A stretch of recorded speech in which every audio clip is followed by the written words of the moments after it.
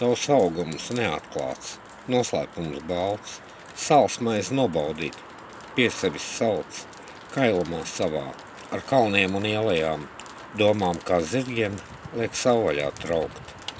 Tava kailuma satraukts, sapinas domas, mūsu prāts un vārdi, neteikts prūst, sits strauji sitas, kā ieslodzīts putniņš, kam pacelties debesīs, bijis ir liekts.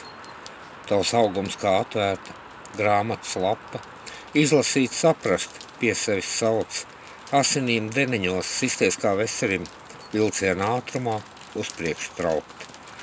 Tava auguma kailums mulsina priecē, iemīlēt, mīlēt, pie sevis sauc, aizspriedums krandas nomestie traucē, svētuļu masku noņem sev nost.